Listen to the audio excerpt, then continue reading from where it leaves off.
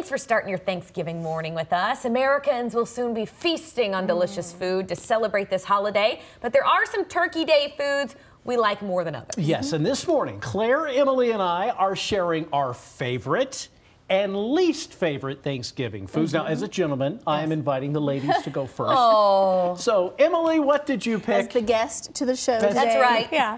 Um, I would have to say that my absolute favorite is uh, mashed potatoes and gravy. It's just always Yum. a staple. My grandmother, my dad's mom, makes the best mashed potatoes in the world. Nobody can top them. they're they're the best. I mean, everybody, even who comes over to the house, and yeah, they're like hers are the best. Oh.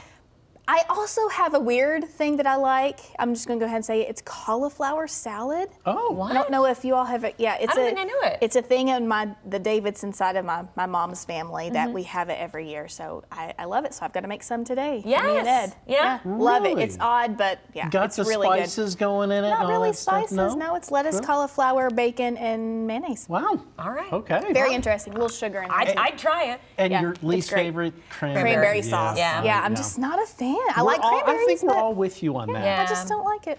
All right, what I selected, um, a Turkey Day must for me is my family's dressing. I absolutely love Mm-hmm. it. I haven't been able to have it in a while because I haven't been home for Thanksgiving. You said your mom puts like three different types of bread Yeah, in, in yeah. hers, She's, right? you know, like lets it sit does out on the right. counter, lets it stale. She prepares. you know, you have to do that. You get the cornbread, you know, with little like regular bread, some rolls. Mm-hmm. Oh, it's just so good. Got to get the giblets and the oh, Mm. everything is so good. It's so good.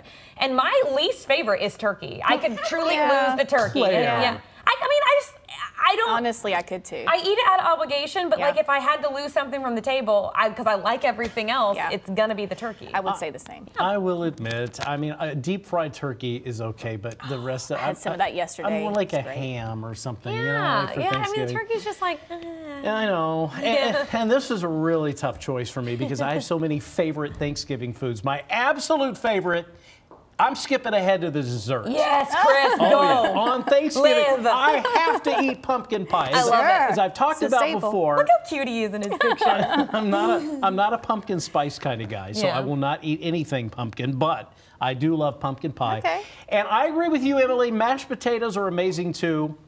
My least favorite, I skip out on the green bean casserole. Yeah, yeah. And like you were talking about the cranberry Yeah. sauce. I love cranberry. My family doesn't do green bean casserole, so I never had to worry about it. But I mean, I agree. I could definitely lose that if it was I on the could too. table. I'd mm-hmm. say, yeah, I'll pass. now could- broccoli casserole. Is, is- yes. That's a good Yes. dish. Mm, I think, I, think we're talking about that later in some story we've got, but And, we are. And yeah. you know what I love that I've only ever had since I lived in Kentucky was corn pudding. Mm. And, oh, I even love it. had it. Oh my gosh. So I, I will bring that in and replace the turkey with corn pudding. How about Just that? starch. Yeah. All right.